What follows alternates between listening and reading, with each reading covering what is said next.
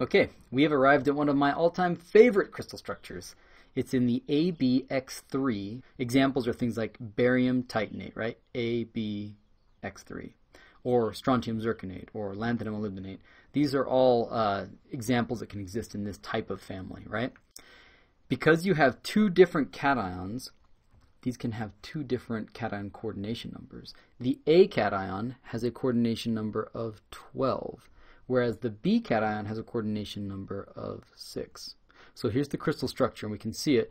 Can you tell where the B cation is? Right here in the middle. This black atom is clearly surrounded by six of these white atoms, right? So that must be the B cation. The B is going to be in the center. It's where the smaller cation goes, right? So of these ones, lanthanum aluminate, it's where the aluminum ion is going to go. Right? Now the bigger cation is the A cation. That's going to sit here on the corners. So that's our A, this is our oxygen, and then this one right there is our B. The A cation, it may not look like it, but it is 12 coordinate. Consider this one over here.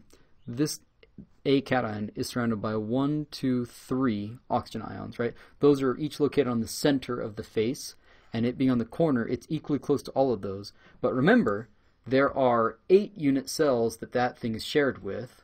And so 8 times 3 sounds like 24, but remember, each of these oxygen atoms right here is halfway in and out of each of those unit cells. So it's actually 24 divided by 2.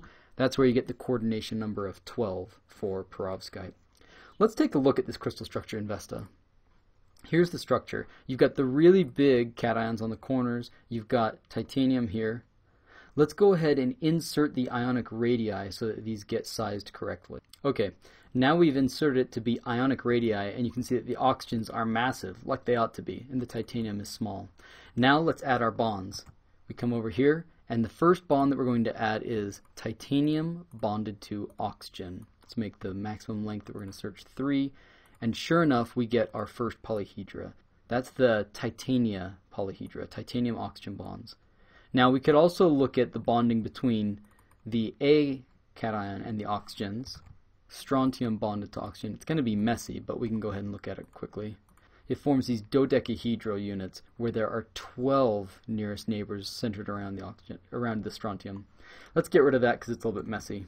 So now that we've got the perovskite crystal structure, you can see that it can be made up of these polyhedra that are connected via corners with other unit cells. Sure enough, you see, you have these corner shared polyhedra for the B cations, and then you have A cations sitting in the junctions between them.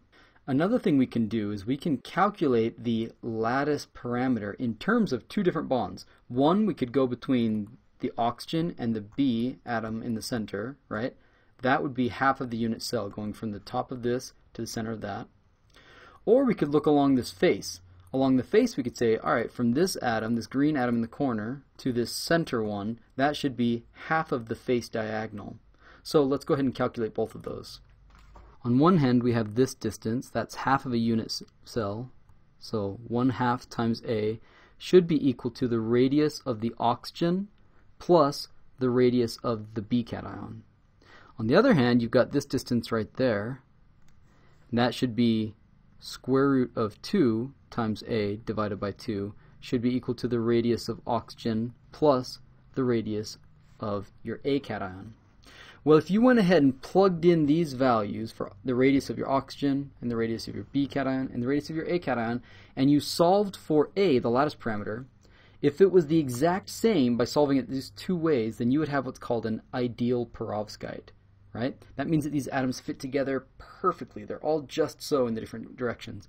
But in the real world, we don't always end up with ideal perovskites. We can end up with non-ideal perovskites, right? In fact, there's a way to calculate it. You're basically taking the ratio of these two lattice parameters right here. You're taking T, the tolerance factor, is equal to radius of the cation, the A cation, plus the radius of oxygen, divided by square root of 2, multiplied by the quantity of the radius of the B cation plus the oxygen anion. Again, if t equals 1, then it's an ideal perovskite, like we described here. If it's not, then it's going to be distorted. Why will it be distorted? The reason that these things distort is because atoms don't want to be in a cage that's too large for them. Consider this scenario. Here we have our corner shared polyhedra. Now, remember, the green atom, if it was shown to size, it would be basically filling up those gaps between there.